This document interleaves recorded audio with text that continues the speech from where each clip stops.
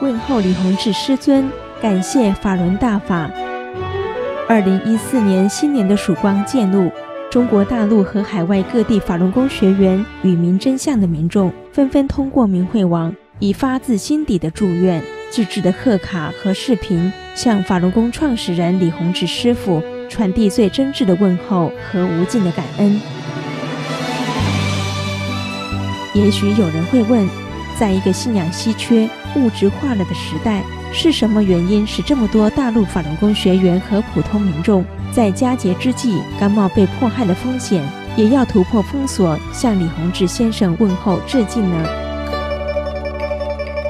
如果一个人在黑暗中走到绝路，掉进了深谷悬崖，突然有一双巨手将你捞起，给你洗净污秽，领你走上正大光明之路。又赐予你生命永恒的幸福与荣耀，不要你一分钱，不收你一份礼，甚至不要你一句感激的话，只要你那颗向善的心。师父的恩德万死难报其一。这位内蒙古大草原的法轮功学员，为能向李洪志师父元旦献礼，感到无比荣耀、无比幸福、无比风光、无比自豪。我们虽都没有参加过师傅的传法班，没亲见师面，但感觉师傅时时就在身边，用大法的法理照亮我们的心田，使我们能在浊浪中，在残酷的迫害中紧随师傅，勇往直前。河南漯河的全体大法弟子盼望着那一天，在众生万物的瞩目下，灿烂阳光中，李洪志师傅与大法弟子再次相聚于中原。这也是所有大法弟子的心声。这些突破中共重重网络封锁、传至海外的感恩与颂扬，见证着大法师父的巨大道德感召力，让人看到任何谎言与暴力都改变不了大法弟子纯正坚定的信仰，见证着中共对法轮功迫害的彻底失败。发来贺卡的中国大陆法轮功学员来自社会的各个阶层、各行业，也包括中共控制最严厉的军队四总部、各大军区、军种、武警、国防军工、政法、司法、警察和政府等部门。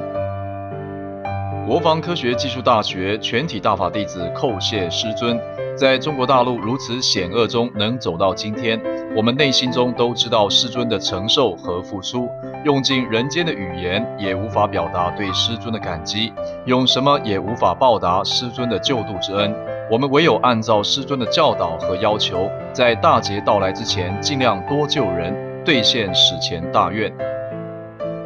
鲁中地区司法系统大法弟子感恩师尊无微不至的慈悲呵护，使弟子从艰难困苦中走了出来。如果不是师尊分分秒秒的慈悲呵护，弟子寸步难行。因为弟子心中有了大法，在任何环境下，弟子才不会迷航。任何邪恶因素在伟大庄严的佛法面前，什么也不是。弟子庆幸成为师尊的大法徒，一切都是师尊赐予，请师尊放心，弟子会更加精进，多救世人，不辜负师尊慈悲苦度。每逢佳节倍思亲。一些正被非法关押、遭受严酷迫害的法轮功学员，也突破重重的阻隔，向师尊发出节日问候。他们虽身陷囹圄、历经磨难，仍无怨无悔，坚守正信，慈悲救人。山东青岛胶州市被非法关押大法弟子道出了他们的心声。能够成为大法弟子，是我们无比的荣耀。在此，唯将永恒的感恩与恭祝献给师尊。我们在新的一年里，在特殊环境中，一定谨记师尊的教诲，一定修好自己，把大法的美好展现给世人，不忘践行救度众生的神圣誓约，不辜负众生的期盼，不辜负师尊的慈悲苦度。法轮大法修炼者遍布海内外，他们走入大法的原因不同，修炼的心路与经历也各不相同，但从这些淳朴的贺卡贺词中。不难看出，他们都从大法修炼中洞悉了生命的真谛，身心受益。他们都已能成为大法弟子、助师救度众生而无限荣幸与感恩。在十四个春秋的连宵风雨中，法轮功学员不畏艰险地揭露中共谎言，告诉世人真相。让越来越多世人认同法轮大法，并声明退出邪党组织。他们当中有许多人因此得到福报，遇难成祥。佳节来临之际，他们恭祝李洪志师傅新年好，感念大法的救度，赞颂真善人，给这个世界带来了希望和光明。辽宁抚顺清源县大洪水中得救的世人，叩谢大法师父救度之恩。他们说：“我们都是清源县南口前镇居民，通过大法弟子传福音，明白了慈悲的李洪志师父万般辛苦传大法，是为救度众生。我们退出了中共邪党组织，牢牢记住了九字真言：法轮大法好，真善人好。”在二零一三年八幺六大洪水中，我们得到了大法的护佑与拯救。借助明慧网平台，以表达对李洪志大师的感恩。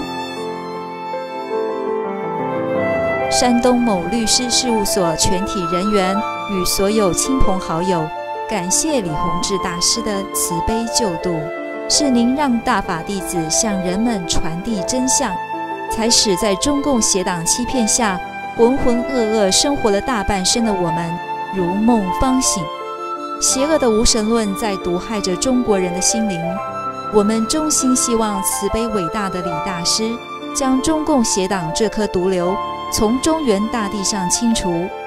让真善忍的种子播撒在每个人心中，让人的善良本性复苏，人类才能有继续生存的希望。我们盼望着这一天的到来。在这特殊历史时期，希望这些发自内心深处向李洪志师父表达坚信与得度的感恩，能让更多人认同真善忍宇宙大法，从而开启进入新纪元的机缘。